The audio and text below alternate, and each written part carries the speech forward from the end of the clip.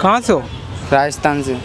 राजस्थान में किधर? राजस्थान तो बहुत बड़ा है। धौलपुर ज़िले में तहसील सैदपुर से बा, बालक नगर गाँव में रहता हूँ मैं। अच्छा। ये धंधा बचपन से चालू कर दिया?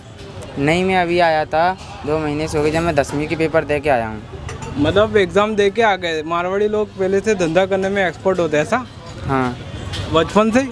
हाँ बचपन से ही। और अभी आप क्या क्या बेचते हो? अभी आप हम बेचते हैं मस्कावन बेचते हैं और मैगी ढोकला मोमोज और चाय ये बेचते हैं। एक दो तीन क्या डाला इसमें? हल्दी।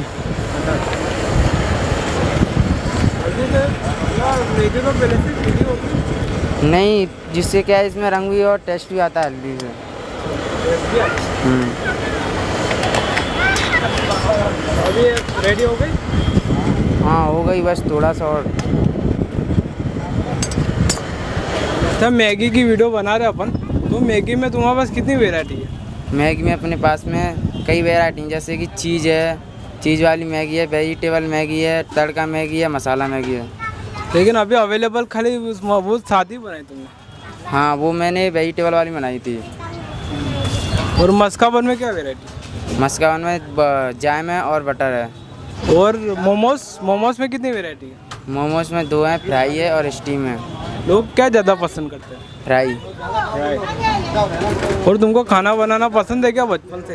हाँ वो भी पसंद है। क्या पैसे कमाना पसंद है? नहीं। और ये तुम्हारी दुकान का भी है ना जो वीडियो देख रहा है? कुछ लोग वडोदरा से देखते हैं कोई इंडिया से देखते हैं कोई पाकिस्तान से देखते हैं कोई दुबई से देखते हैं कोई लंदन से देखते हैं। तो आप दुकान का एड्रेस बता दो।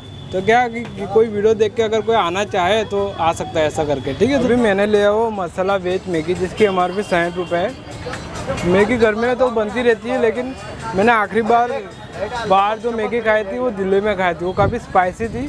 ये उसके कंपैरिजन में थोड़ी कम स्पाइसी है। और अब रात्रि बाज़ार के हिसाब से क्या होता है प्राइस थोड़ा रहता है। तो इसी हिसाब से इसकी एम आर पी साठ रुपये है।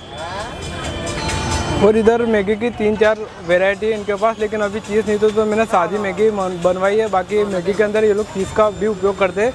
टेस्ट में काफ़ी एवरेज है और प्राइस भी ये ठीक ठाक है।